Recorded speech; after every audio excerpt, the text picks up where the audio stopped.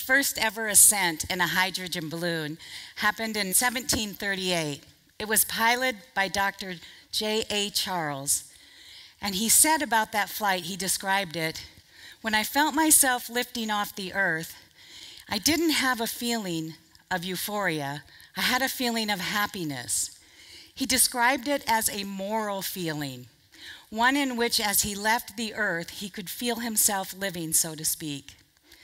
My first journey heavenward was not nearly as profound, poetic, or lyrical as that of Dr. Charles.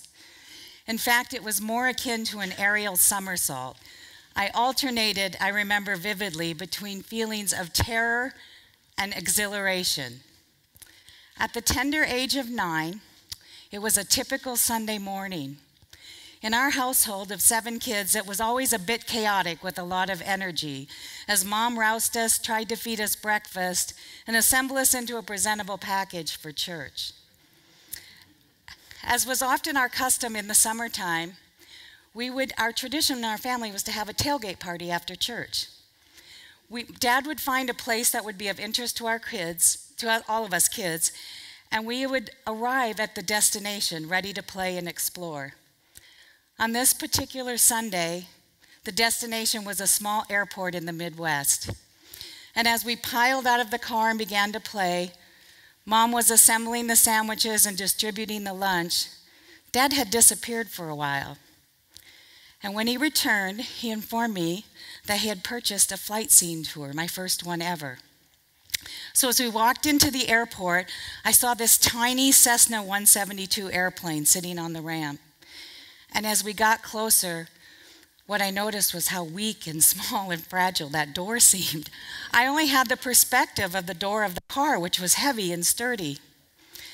The pilot helped me into the aircraft, and he strapped me in with both a lap belt and a shoulder harness. So now my mind was screaming caution. As the aircraft engine became alive, I literally dug my fingers into the seat cushion just to hang on for dear life. An airplane raced down the runway, and we began to lift off the earth. I pressed my nose as close to the window as I dared because I wanted to see the view. The, my worldview was changing in that moment, and I didn't know how much it would impact me till later on. As the airplane took off and we climbed higher, I looked back at the airport and I could see this long, straight runway. Right next to it was a parallel taxiway and they had neatly spaced interconnecting pieces of pavement in them. This was an order and a, a sense of planning that my nine year old brain didn't comprehend. As we climbed higher and higher, everything became smaller and smaller. Except I could see more at one time. The world was actually growing bigger. The activity of the cars and the people on the ground reminded me of one of my childhood pleasures the leisure time of watching ants. You know how you would sit and you could sit for a long time watching them, and they never seemed to have a straight destination or knew where they were going, but they marched around in these random trails, and we were always guessing what their destination was going to be. True to aviation tradition, my dad made sure that the pilot knew where we lived, because it's custom to fly over something you know and something that you're familiar with which is probably a challenge for a nine year old. Our worlds can be pretty small. As we circled our neighborhood at about 2,000 feet, I was awed and a bit perplexed at this view of my world. I was used to it on the ground, and it had, it was late 1960s, and it was one of those suburbs in the Midwest, you know, the homogenized kind that are built into grids. And it stood in contrast. I could see two landscapes one was that man built environment. It was a little cold and sterile, it had lines and angles and hard edges. And the other one was the more soft, vibrant, contouring landscape of the natural environment. The one that was the living and breathing ecosystem that we call Mother Earth. I looked at these two perspectives and I thought, my view of the world, I didn't think, but I think now. my view of the world, my perspective is changing. 30 years later, well, actually, let me tell you, um, Charles Lindbergh once said that life is like a landscape. We live in it, but it's only from the vantage point of distance that we can begin to describe it. To me, that nine year old wide eyed child that I was, the grown woman that I would become, trying to make my way in a man's world, I had no idea how this vantage point of distance was profoundly and unalterably influencing my life. For four decades, the astronauts have traveled to space and to the moon. They all talk about a profound feeling, a new vision that they achieve when they look back and see our tiny planet hanging in space. This has been dubbed the overview effect by a book of the same title from a space philosopher and author named Frank White. He talks of that firsthand experience of first seeing this blue ball hanging into space, into the void of space, with this thin layer that protects and nurtures it, a paper thin layer that we call the atmosphere. They say that this is a profound experience, and you can't look at it without understanding a sense of responsibility to this fragile blue planet. In fact, this perspective needs to marshal a society of planetary citizens to help protect this view, this planet we have, our life.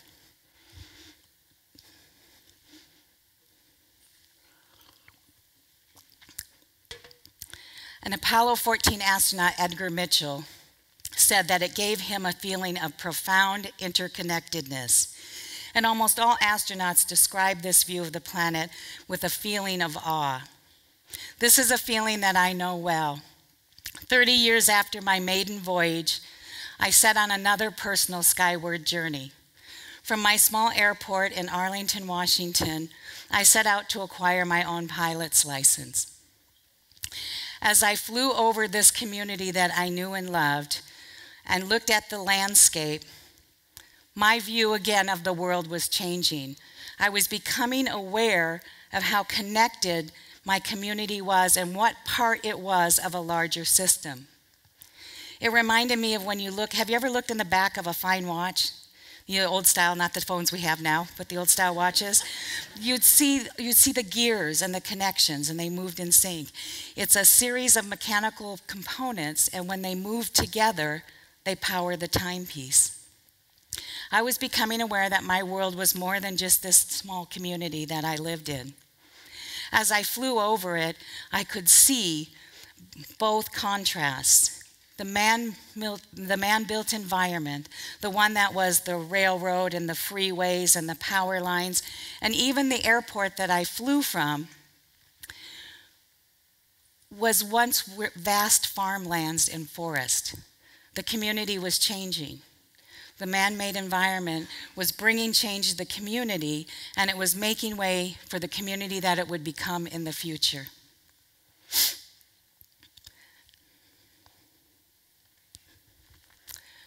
It was impossible not to alter your worldview with this experience. As I was learning to fly, I learned to navigate. It's one thing you need to know as a pilot how to find your way around. I would navigate and chart a course, and I'd follow the landscape to help me find my way out of unfamiliar territory. This same landscape that was helping me find my way in the sky was also helping me keep in sync with my community that I loved on the ground. Ten years later, after flying over this wonderful community, I became the mayor of that small town community. I too was charting my own course of change. Edgar Mitchell, the astronaut, said, "We went to the moon as human- we went to the moon as technicians, and we returned as humanitarians." This was never more real to me as a pilot of the skies, a citizen of the earth, and the mayor of Arlington, Washington than on March 22, 2014. The first sound that I became aware of that was different was the sound of sirens. So it's a sound a mayor never hears without a little bit of trepidation and sadness creeping into your heart. We heard, rumor began to spread, that there had been a mudslide on the Valley Highway. We sensed it was something big as the sirens continued to wail in the distance. The thumping of the helicopters overhead gave us a sense of disruption and invasion and chaos all at once. We knew that our world had changed. My, few, my first view of the site from the ground was something that nobody can prepare you for. This beautiful, picturesque valley that had flown over hundreds of times in the past 10 years. It had the kind of beauty in nature that would take your breath away at times. This unadorned beauty, to coin a phrase, would say, make your soul smile. But standing in front of this still landscape, it had morphed into a soul shattering anguish that was hard to comprehend. It was like a mud like lava flow had swept over the landscape in the most unimaginable earth flow. This wall of mud had come down and swallowed everything in its path and split it out, and spit it out into a pile of mud and debris. Centuries old majestic trees had splintered and broke up, and they lay like matchsticks across this landscape. It was incomprehensible.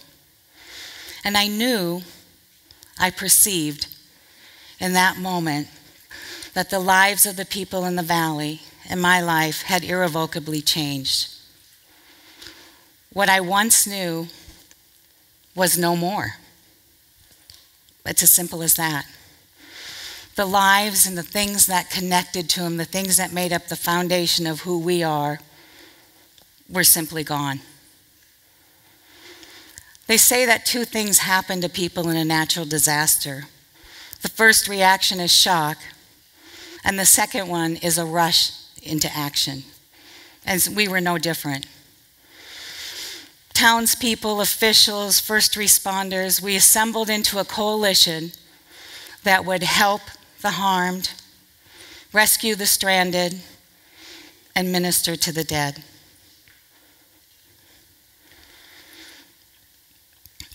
The media descended upon our town. They came in mass. They wanted to tell our stories, they wanted to listen, they wanted to learn.